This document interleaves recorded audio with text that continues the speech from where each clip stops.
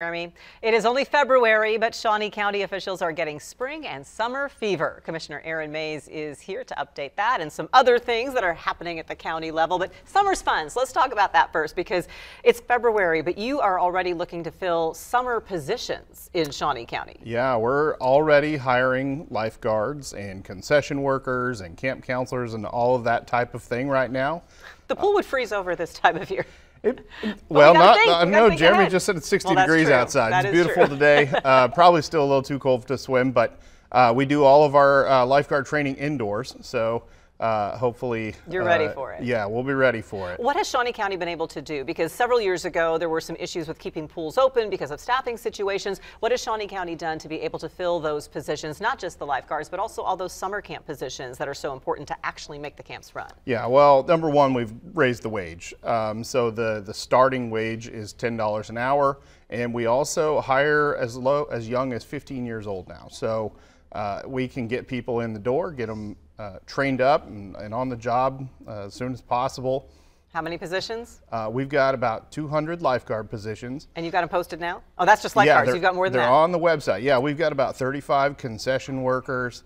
Um, and I'm not really sure how many camp counselors, but I know it's quite a few. Quite a few. And you've, is registration open for those camps yet, or when does that start Okay, opening? so summer camps uh, registration opens March 5th, and so if you're a parent in to, in Shawnee County, you know that it's tough to get into some of those camps, Right. and so March 5th is the day that Here's they that they open up. You make sure you get in, uh, check the calendar in advance, make sure you've got those weeks blocked off, and uh, and get in while you can. snco.us is Shawnee County's website where all of that information is That's posted. exactly right. And speaking of summer and lifeguards, you have a big date set now, something official with the Oakland pool.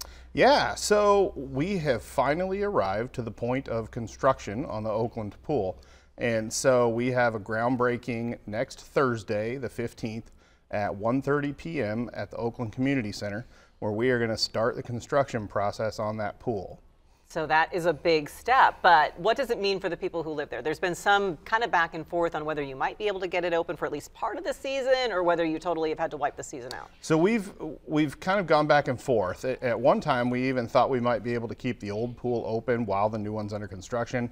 Turns out that's kind of a safety hazard. So we will be opening the pool next summer, but it'll be a little bit later than all the other pools. So we're looking for a July completion date so we can have that pool open at least for the hottest part of the summer. Well, we'll knock on wood that there's good weather to Right. cooperate with all of the construction that would happen. Uh, something also you guys are watching is the state legislature. There are a lot of things that happen at the state level that impact what you can do at the county level. level. We're starting to hear talk about what's called the local ad valorem tax. And this is something that had been kind of passed through to cities and counties many, Mm-hmm. many years ago. Then there was a budget issue and it kind of went away. Yes. Um, cities and counties have wanted it to come back. It has not come back. What's happening with it this year? And why are you making the argument that it's about time to bring it back? So uh, the the LAVTR, as we call it, it's a reduction fund that's designed to give local government a little bit of the state's sales tax. Uh, and that's primarily because most local governments don't really get a lot of sales tax, uh, if any at all.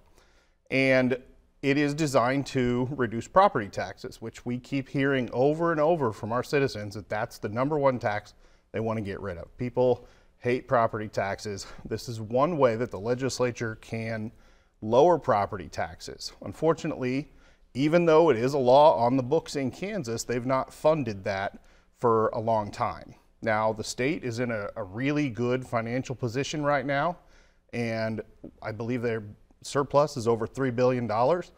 We think that the municipal governments and county governments, we think it's time that they give some of that money back to the local governments where it belongs so that we can lower property taxes. What's the argument though? Because the, some some people would say, well, if they give it back to the local governments, then they're going to have to raise something somewhere else, or it prevents them from doing a reduction elsewhere.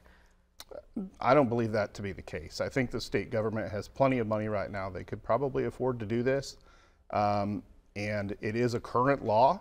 They've just chosen not to fund it. So this isn't even something that is a bill that gets a hearing. This is something that has to be as they progress through their budget discussions this year. Correct. And when do you get to testify on this and tell them and make this argument? Well, I, I, I'll, I'll take that last statement back. There was a hearing. Okay. Uh, Senate Tax had a, a hearing um, at the very beginning of session. Okay. Um, and so far, nothing's happened with it. So we're hoping that it gets put into the appropriations bill. All right, we will keep following those discussions. And again, snco.us has all of the information on the summer camp applications that are going to start to open, as well as those job applications that are already posted. Think now about the summer jobs. Yep. Commissioner Mays, appreciate you being here as always. Thank you. Thank you.